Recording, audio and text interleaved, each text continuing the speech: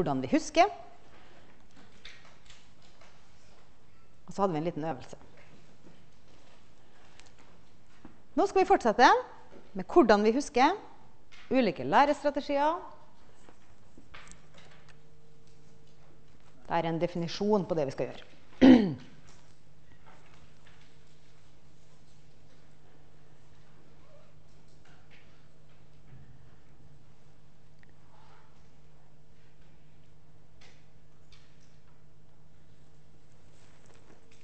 Jeg leser ikke hele den. Altså.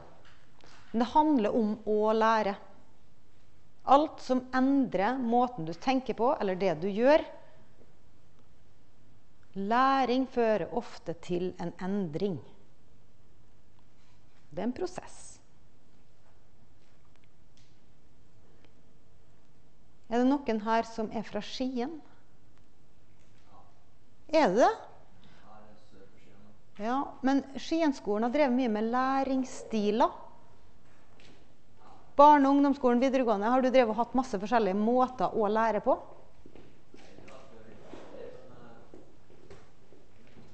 Nei. For jeg vet de har vært veldig gode på det her med å Noen omtrent synger kunnskapen inn, og noen maler den inn, og noen farger den inn. Og ja, det er veldig mange måter å lære på. Og jeg vet Skien har vært veldig god. Den der definisjonen kommer fra Nord-Trøndelag, en kommune jeg har jobba mye i. Men eh, det skal komme mer kunnskap inn etter hvert. Det her er kjent. Lesing, høre på, snakke sammen, Gjør ting og tenke. Vi er nødt til å gjøre det, altså. Enkelt, men de må si det.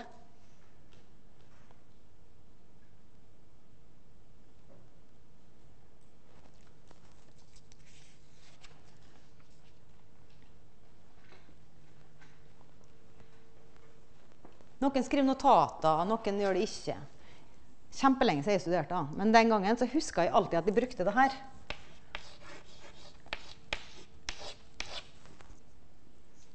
Hvis de for gjennom notatene mine, og så så jeg den der Å oh, ja, ja, ja. Hva betydde det, tror du?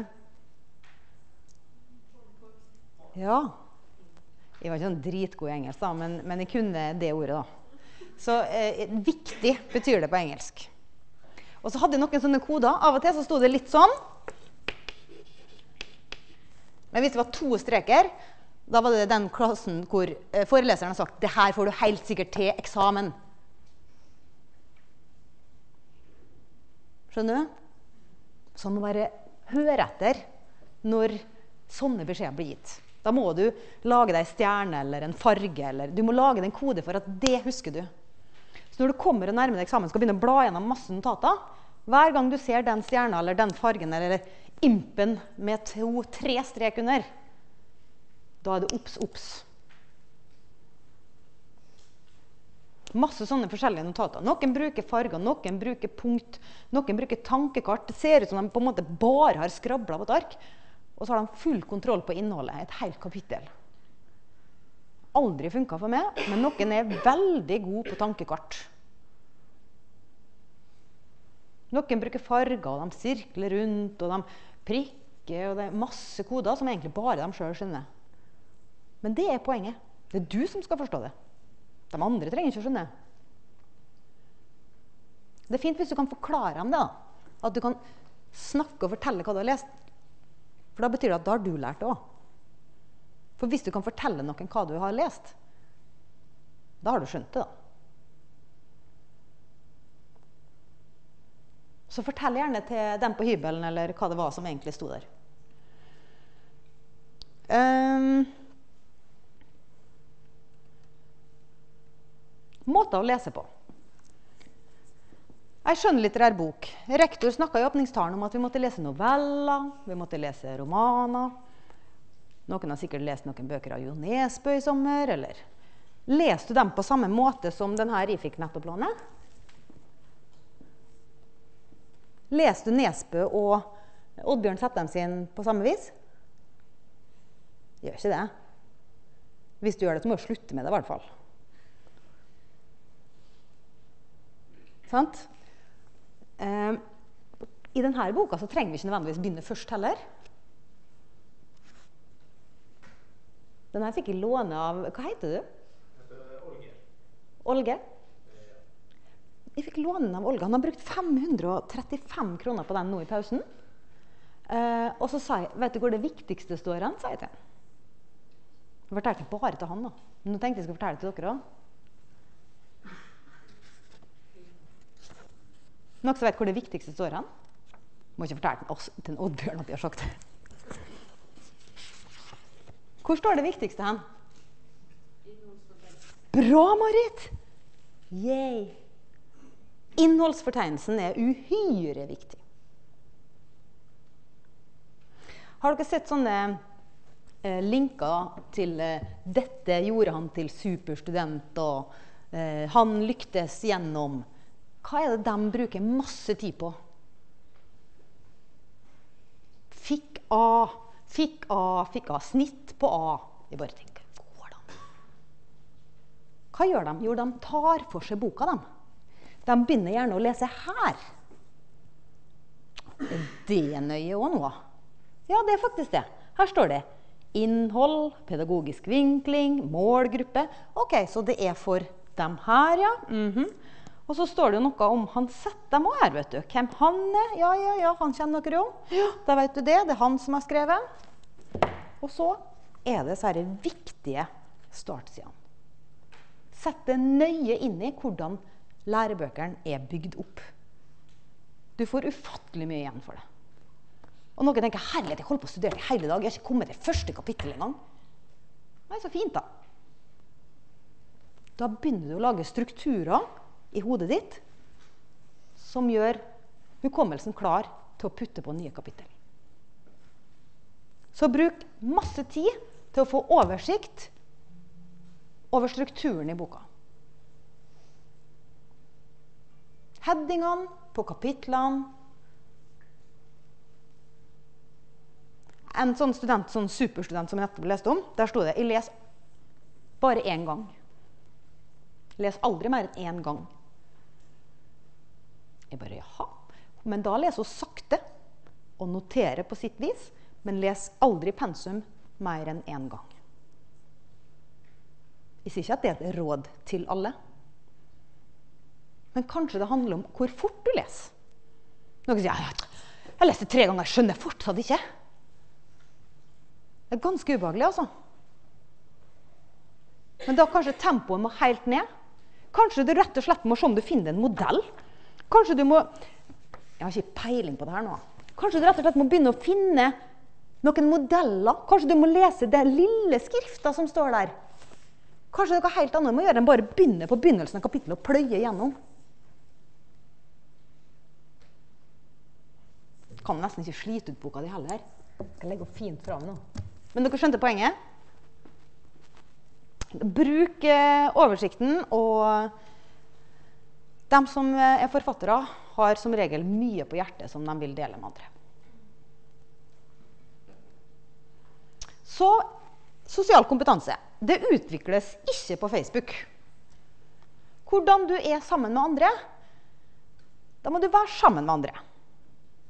Vi må øve på det. Og ja, vi er forskjellige. Og ja, vi jobber forskjellig. Men når det er snakk om å arbeide sammen, da snakker vi om samarbeid.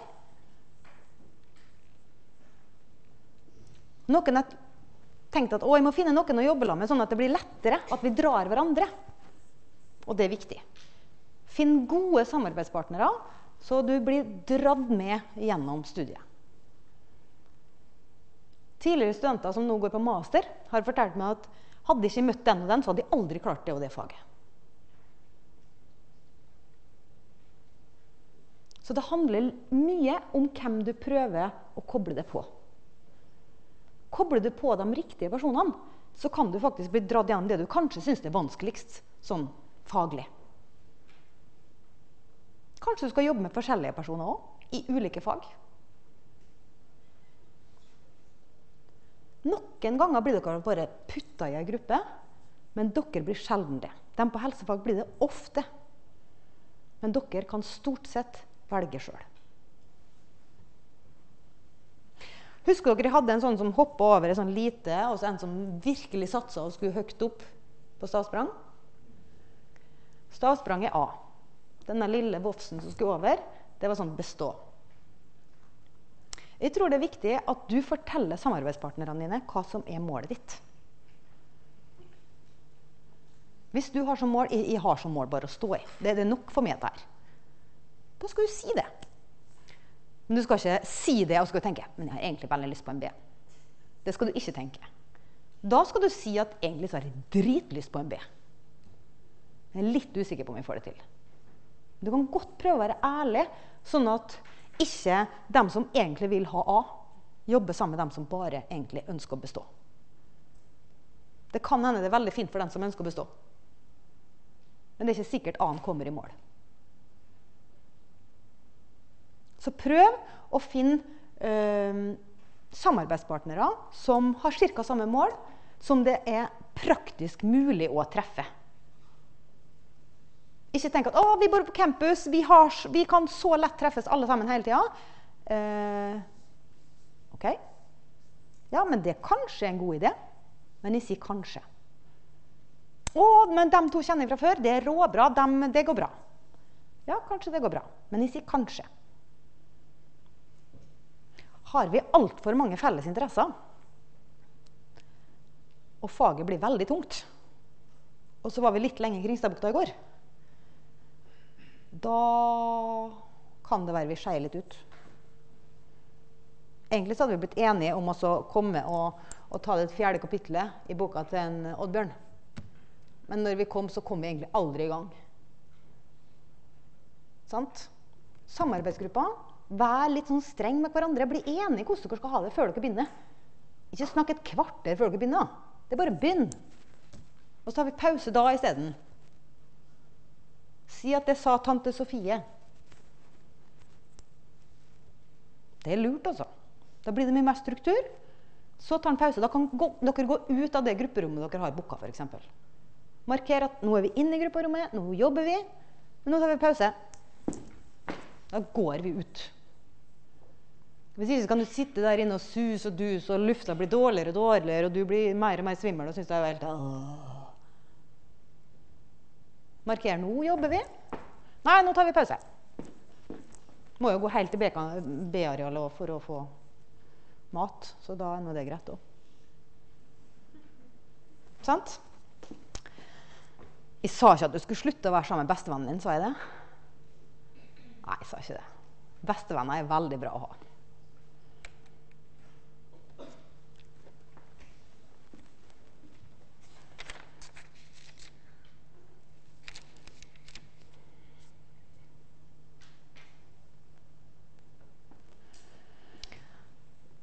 Alle kan jo lese. Har dere hørt om AS sytoklag? Det er mitt begrep for sånne sutterkopper som alltid ser på uh, de vanskelige tingene og Å, det er så vanskelig. Å, det tar så lang tid. Å, så kjedelig. Det er AS sytoklag.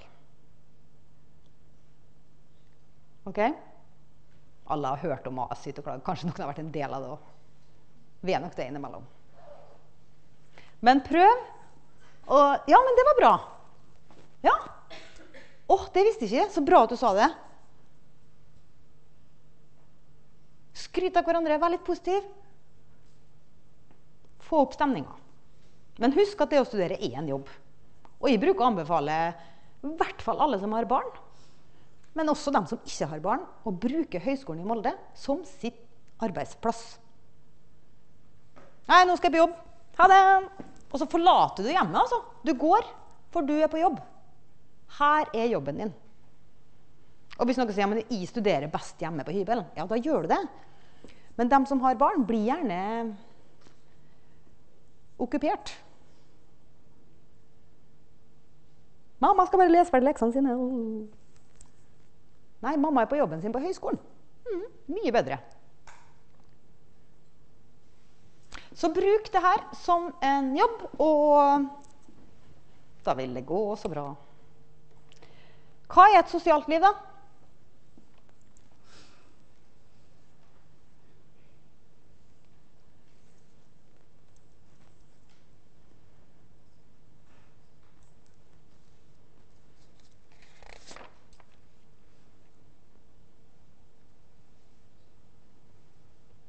Ingen som veit. jo, det å være sammen med andre.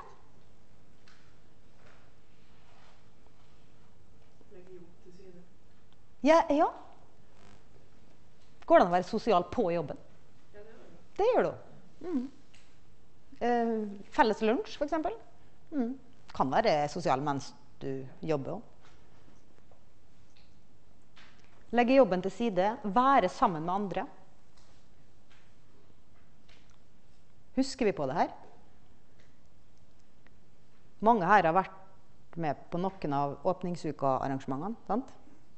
Har dere vært sammen med hverandre da? Har fadderne vært flinke å ta vare på dere?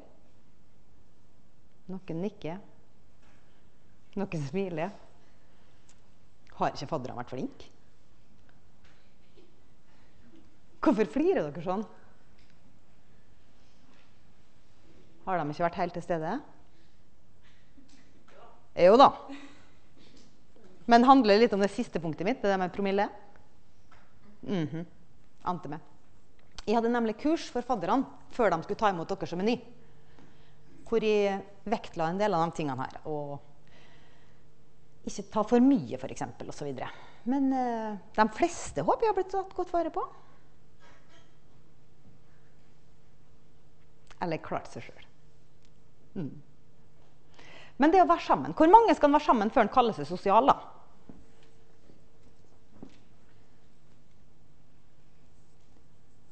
Er to stykker sosial hvis det er to sammen?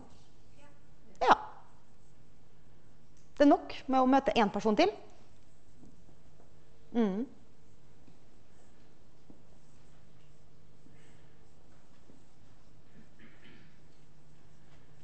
Hvor ofte må vi være sosiale for å liksom bli erklært et lykkelig liv?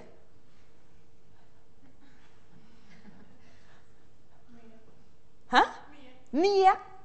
Er det sånn hver dag, hele tida, hver dag, natt? Nei. Hva er mye? da? Når man er våken, ja. Men sover vil du gjøre i fred? ja. Ok, Så når den er våken, da vil den være mye sammen med andre. Gjelder det for alle? Nei. Betyr det at de som ikke er mye sammen med andre, de er skikkelig ensomme? Det ristes på hodet. Nei.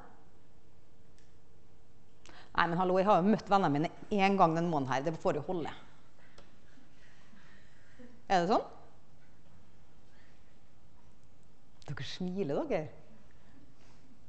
Er det forskjell på det?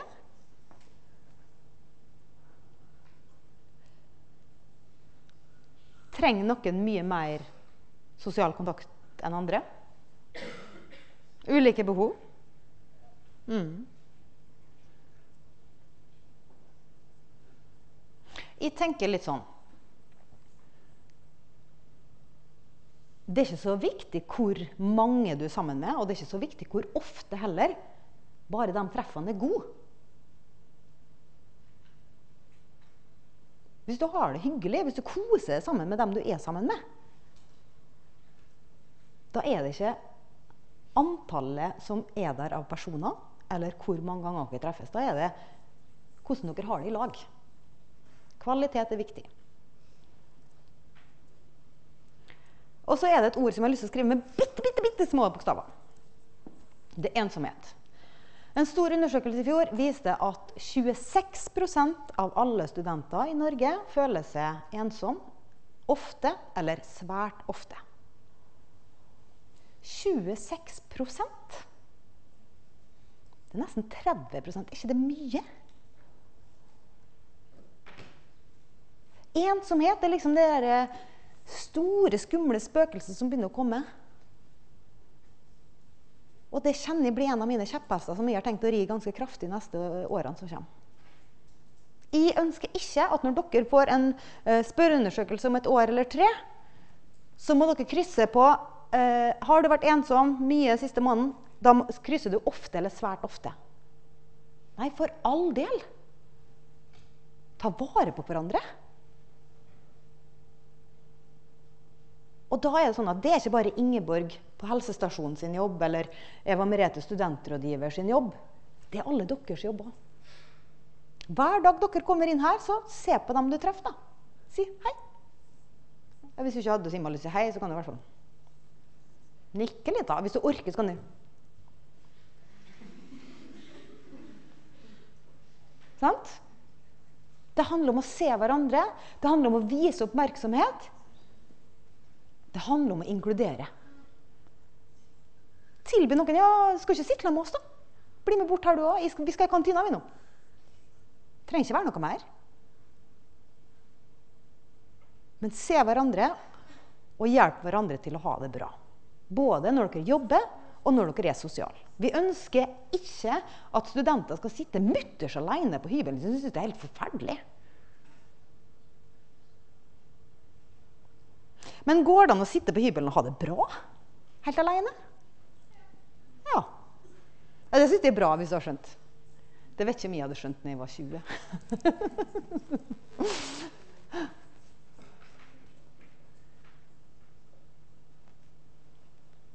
Men går det an at du er ensom når du er på skolen? Sjøl om det, hele salen her er full? Gjør det.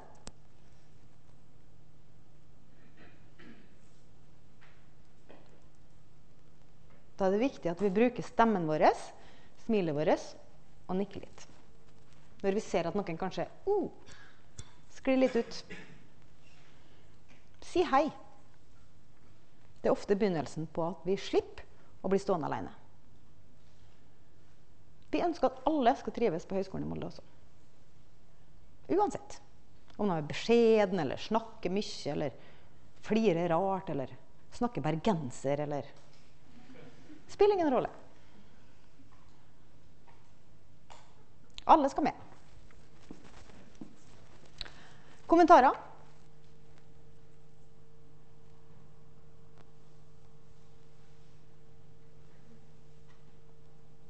Hvor mange her har sett noen som de tror er ensom? Nikk hvis du tror du har sett noen som er ensom her på skolen.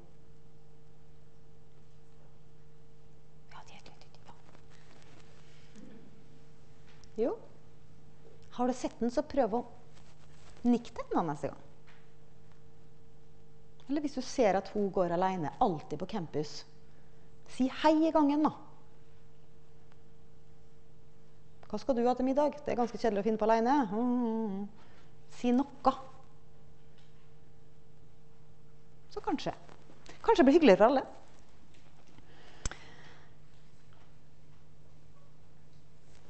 Ja, nok ensomhet, egentlig.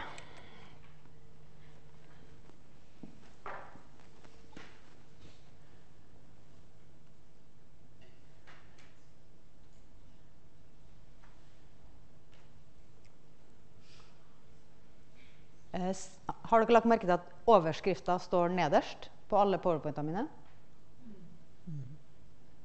Og Det er litt sånn irriterende, syns noen. Hvorfor har du det nederst, da? Må nå ha det øverst. Jeg må i det? Syns det er ganske greit å lese liksom, punktene, og så kommer det. Det er det det handler om. Ja, ok. Noen blir litt irritert. Burde ha snudd på det. Ja, ja. Søvnhygiene har jeg kalt det her. Ser dere det bildet her? Vanskelig å se? Det er min yngste datter på telttur på Hjertøya i sommer. Hun så som en stein. Jeg måtte ta bilde av henne. Hun vet ikke at jeg bruker men jeg tror hun syns det er greit. Men det er ikke alltid så lett å sove som en stein. Ofte så er søvn eh, noe som forteller om om vi har en god rytme i livet vårt. I perioder så har vi kanskje hatt det litt dårligere. Og da, da blir denne søvnrytmen ofte forstyrra. Og det er da jeg snakker om søvnhygiene. Det betyr ikke at du skal vaske det hver dag før du legger og sover. eller noe, men, men det handler om hvordan du har rytmen rundt det. Sove skal vi gjøre om natta. Å, sier studentene etter nesten to uker med åpningsarrangement. Mm. Ja, ja, Vi kan begynne med det fra mandag. da. Begynner vi å studere litt denne uka her, og så tar vi ordentlig søvnhygiene fra mandag av. Men det der å komme inn i rytme, legge det ca. til samme tid, stå opp ca. til samme tid Ja, men Da blir du kjempetrøtt hvis vi må stå opp da. Ja, ja, men da kan du være trøtt en stund til du kommer inn i rytmen. Finn ut hvor mye behov du har for søvn. Noen sier ja, men jeg trenger ikke sove mer enn seks timer om natta. Det går fint, det. Da tenker jeg ja, vær så god, jeg vil ha mer. Sant? Og noen eh, kommer lett inn i der helt til du kommer til fredag. Og så er vi helt på skeiva igjen. Prøv ikke å la det bli så himla på skeiva. Hold det sånn cirka. Prøv i hvert fall å stå opp igjen før du har gått hele dagen. Hvis du da holder den der eh, stå opp og legge seg sånn cirka, og sove om natta og ikke og må bare duppe litt, altså. Prøv ikke å duppe når du hviler på dagen. Da hviler du bare. Ikke Det uh, blir bare ødelagt natt. Og så er det litt sånn med barn. Før de skal legge seg, så må de ofte roe seg litt ned. Forskjell på ungene òg, det har jeg skjønt. Men ta bort den derre hylende 'Finn a verb!' Sånn derre barneprogram som har så høy lyd at du får helt oh, vondt overalt. Ikke slå av TV-en og så legg det rett ned. Lukk Facebook. Ta bort alt sånn derre snapper med hylende varianter og vine av det og det. Altså, ta det bort. Ha en sånn fri periode før du skal på en måte sove. Ja, men jeg må bare sjekke det rett før jeg legger meg. Altså, nei, du må jo ikke det. Verden der ute består. Mest sannsynlig er den der neste morgen når du våkner. Så prøv å markere at nå holder jeg på å roe meg ned. Nå skal jeg sove. Da blir du så knakende god student, og det liker vi så godt. Så nå skal dere sove, og så skal dere spise sunt. og Se her, da.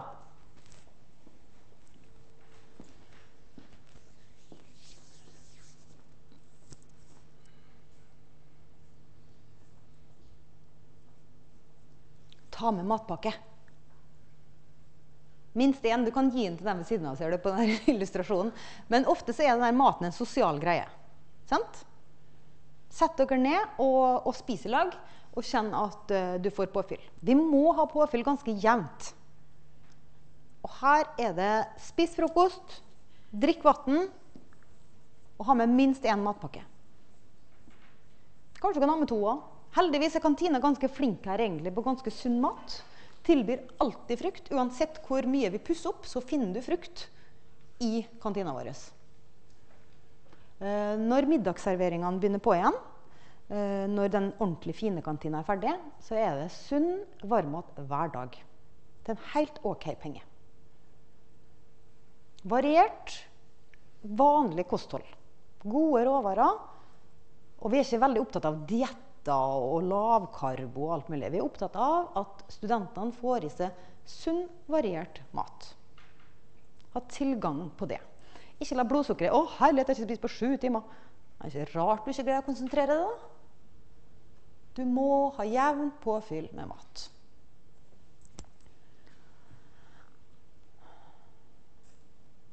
Har jeg sagt det som står her? Ja. Det er ikke noe nytt. Du har hørt mor di eller bestemor di sagt det her mange ganger før? har du ikke? Jo. Men jeg syns det er viktig at jeg nevner det her for studentene, for det har betydning.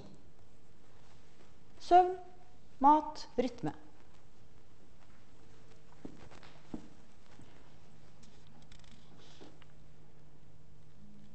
Hva er det som egentlig betyr mest nå, da? For om du får til dette å være student?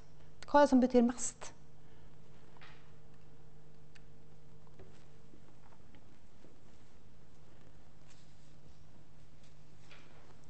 Dette er det som betyr mest.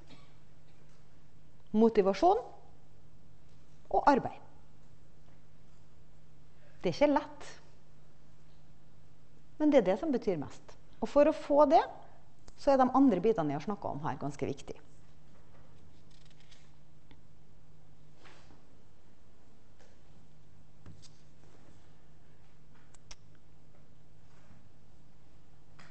Dere som har vært med på fadderopplegg, har dere fått uh, sett noe som heter lykkepromille? Ingen som har hørt om det?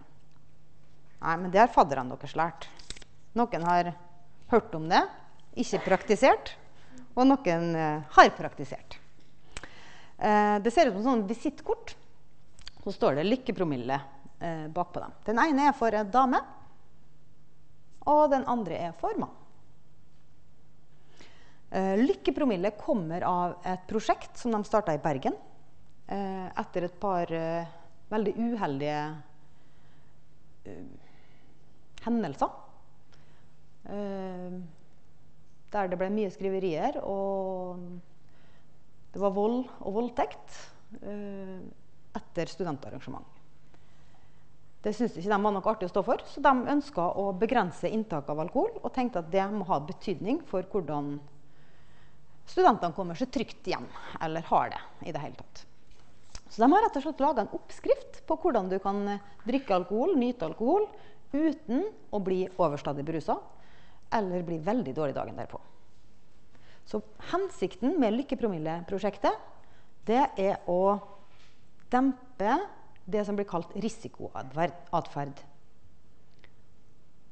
At ikke vi skal få så sinte, fulle mennesker som skader seg sjøl eller andre.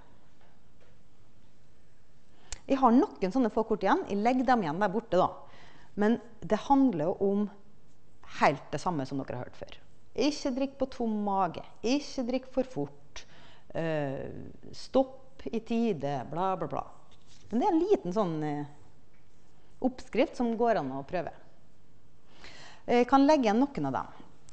Og så har jeg noe kart for dem som ikke er fra Molde, var mange som kom utafra Møre og Romsdal. Skulle nesten ha hatt det i går når vi gikk på Varden. Dette bildet er tatt akkurat fra der vi var i går. Kom opp på kanten og fikk se den fine utsikta. Anbefaler alle å dra på Varden hvis de ikke har vært der.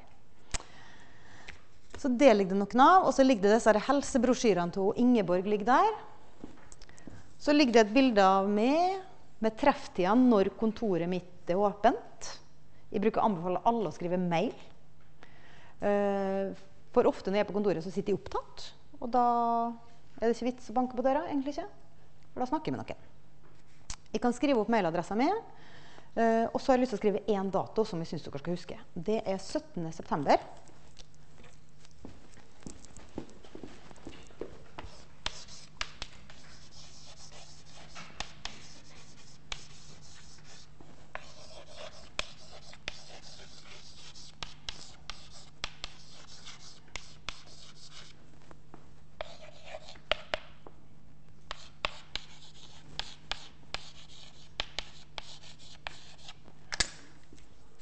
skal vi arrangere en studentfjelltur. Det er en av de tingene vi gjør for å prøve å få alle til å kose seg. Så leier vi buss, og så kjører vi på forskjellige steder. En gang om høsten og en gang om våren. Høsten sin studentfjelltur går til Trollkirka i Frena kommune. Det er en eh, helt overkommelig tur for alle. Eh, det er ikke kjempemange timer å gå opp. Eh, ligger på fire, nesten 500 meters høyde. Litt sånn like høyt som Varden. Og så er det grotta der, marmorgrotta, som vi kan gå inn i. Veldig, veldig fin tur. Eh, bli gjerne med på den, og meld dere på på Facebook. Sånn at vi kan ta opptelling med hvor mange som skal ha buss. Eh, det var studentfjellturen. Det er en av mine hjertesaker, altså. Og så var det alkoholkortene mine. Skulle jeg legge bort her. Gutter tar guttekort, jenter tar jentekort. Og du skal få en boka di. Er det spørsmål?